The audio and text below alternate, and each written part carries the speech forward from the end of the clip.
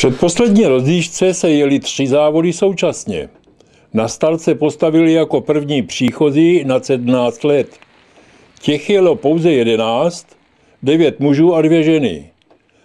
Asi za minutu po startu této kategorie startovali i dva kadeti a dvě kadetky 15 a 16 let opět ve druhém startu samostatně. Za další minutu startovali starší žáci, ti všichni potom už jeli jen velký okruh. Znamenalo to v praxi po cyklostezce kolem odpočívky až na samém kraji lesa a dále po této cyklostezce až na hřeben Zlobice, kde je poblíž ohrada kolem zdejšího pastaveckého vymezení pro zdechované ovce a kozy pasteveckou společností Oveko, byla obrátka, což je v podstatě už na území sousedních Malostovic. Odtud se potom účastníci závodu vraceli zpět přes les a dále přes asfaltovou komunikaci začínající u Boží Muky, stojící na hranici katastrálních území Malhostovic a Kořimy. Tento okruh však absolvovali kadeti a příchozí 17 let a více dvakrát, zatímco starší žáci a žačky tentýž okruh jen jednou.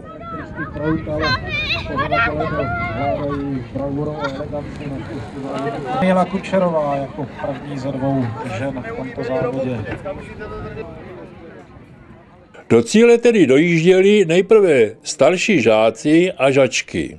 V jejich startovním poli byl první, byl ze 183 jedoucí Filip Holub z GT Opportunity v čase 7 minut 8,5 vteřiny.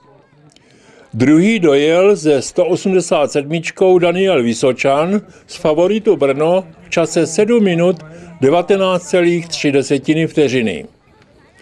Třetí v cíli byl Tomáš Pink, jedoucí ze 184. Tomáš Pink je s kuřimi a dojel v čase 7 minut 20,1 vteřiny. Čtvrtý byl ze 186 jedoucí Ivo Opluštil z favoritu Brno v čase 8 minut 14,3 vteřiny. Pátá v cíli byla vítězka kategorie starších žaček Agáta Janáková s kuřimi, která dojela v čase 8 minut 44,5 vteřiny. Šestá v absolutním pořadí a druhá mezi dívkami byla Barbara Jelínková z Tišnova v čase 9 minut 5,3 vteřiny. Sedmá v cíli a třetí v kategorii dívek byla Eliška Hancová ze Šlapanic v čase 15 minut 22,9 vteřiny. Mezi kadety byl první v cíli ze 132 jedoucí Jakub Pavlík z Brna v čase 15 minut 3,5 vteřiny.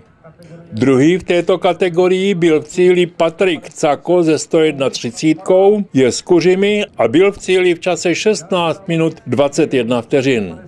Třetí potom dojela v absolutním pořadí a první mezi kadetkami Michaila Šťastová z Pelt High Bikers Kuřím v čase 18 minut 2,5 vteřiny a čtvrtá v této kategorii byla ze 133 jedoucí Lucie Montagová z Kuřimy, která dojela v čase 19 minut 40,6 vteřiny.